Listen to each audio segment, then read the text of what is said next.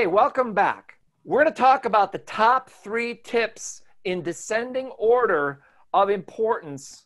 Tip number three is analytics. Give love to your top videos, not the videos you love. It's not about you. YouTube is not about your content.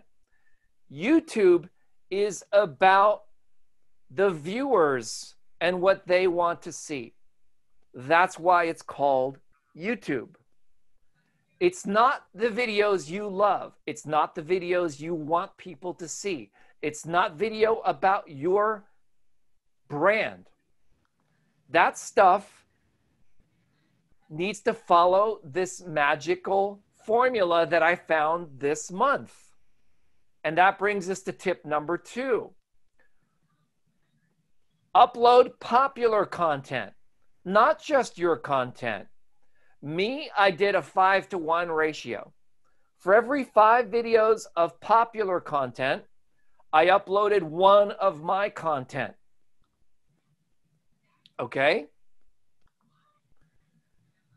Next, tip number one place ads. And we covered that on Tuesday. Specifically, I'm going to give you a little bit more detail into placing ads, and I'm going to show you me actually uploading the video. And if you come back next Tuesday, we're going to be placing some more ads. But this is the number one thing that I can say that got my channel to a lot of views. Okay. Your target is a big budget. It's 2000 a month. Okay? If you're not spending 2000 a month from YouTube's perspective, you're not even playing the game. You're not even playing the game. That's $65 a day with a 3-month commitment. Okay? If you can't afford that in your mind, then you are not even playing the game as far as YouTube is concerned. Let's talk about your objectives, your milestones. Your first milestone is to break even in sales on your spend. So if you're spending 2000, you need to be pulling in 2000. What I found in my own experience is YouTube is a second tier medium. It augments the sales you're already getting in your business and it exponentially increases it. My sales have increased since I advertised on YouTube, but I can't directly measure that it's because of YouTube.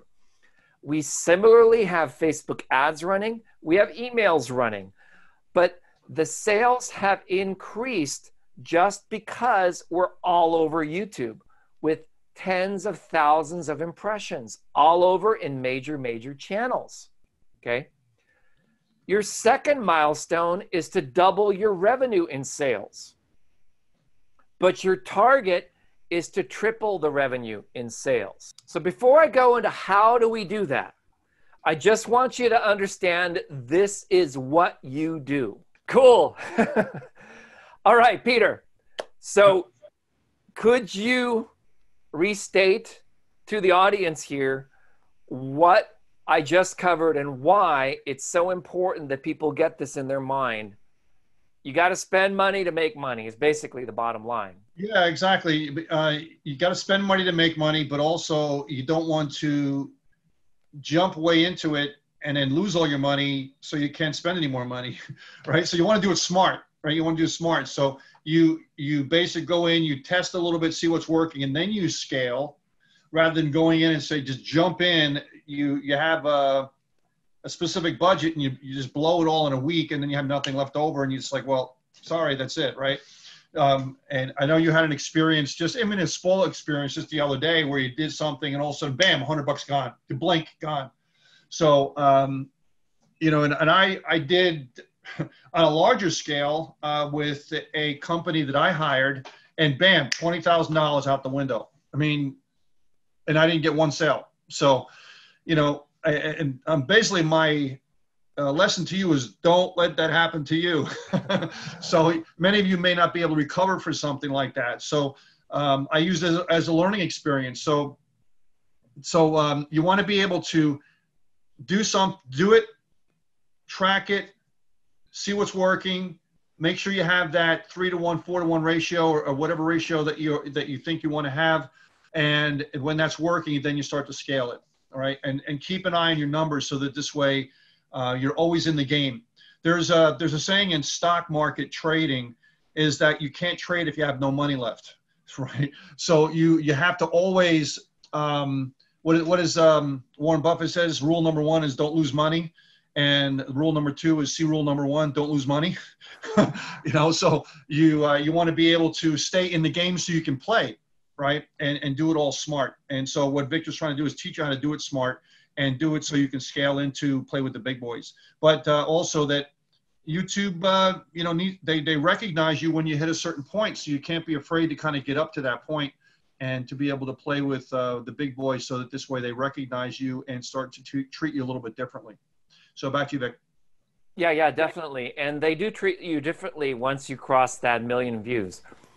Um, that's why my first training, Tube Relevance, was all about getting to that first million this next one that I'm focusing on, which is, I guess we're going to call it Tube Relevance Pro or Tube Refinement, is about this refining process that goes through once you have your organic. How do you quickly get to a profitable state? And uh, that's what I'm going to be talking about next. Is you want to be investing, and you want to be thinking smart, and the, that's what I'm going to be showing you now is how do you think smart? And it's the Pareto principle, it's the 80 20 rule. Let's say you have a budget of a thousand bucks, and that's what I set aside. I said, you know what? I'm going to set aside a thousand bucks to play around with YouTube and see if I can generate more than a thousand bucks back. So I waste like $200 on testing. Pay attention. When you're testing, you're always going to lose money because you have several variations you'll have maybe eight or nine, ten variations running at the same time. The ones that are not working are running at the same time, and the ones that are working, and you need to be able to identify which ones are working so that you can quickly stop the ones that aren't working. But you have to allow enough time for the algorithm to learn. Facebook takes around three or four days up to a week to learn your audience and your market. YouTube seems to be around the same. It goes through a learning phase. Well, I'm going to show you in the upcoming slides my learning phase, and I deliberately did it wrong to have a point of reference to show you. Now, I didn't burn a lot of money, it was only like a $100, but I wanted you to understand if you just do it the way that you just, you know, head on over to YouTube. You can start for 10 bucks a day. Just click the button and go for it. Yay. You're not going to get any results.